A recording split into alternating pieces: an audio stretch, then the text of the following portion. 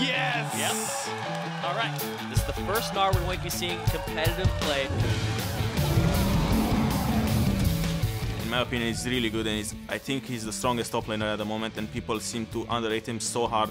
I think Gnar is adorable. His Dino Gnar skin chucks houses at the enemy, which is great. I feel like he's like a secret OP. I think Gnar is more time. I think she's really OP, but the problem is build. For sure, the next split, we're gonna see some Gnar. There's quite a few things you can look for to know when you can bring a champion into a scene. There's a bit of a build-up going up to uh, professional play because new champions aren't able to be played for up to four weeks. So by that time, you have a rough idea whether the new champion is going to be coming in immediately or not at all. You just see the potential in solo queue. That's the first step. You always play the new champion in solo queue.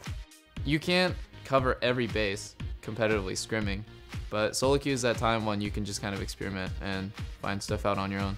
Often you just need to play the champion a lot. You need to figure out what kind of team comps you can work around with him. After a while, teams usually figure out like the strengths of the champion.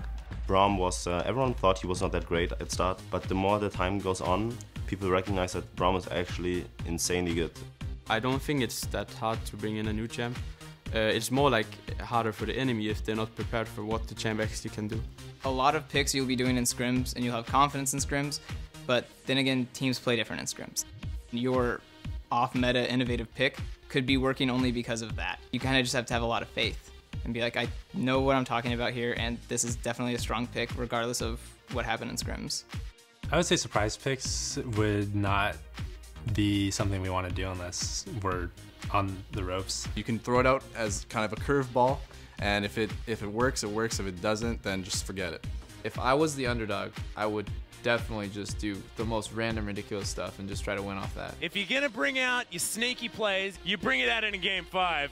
And Hecarim? Is that a mid Hecarim?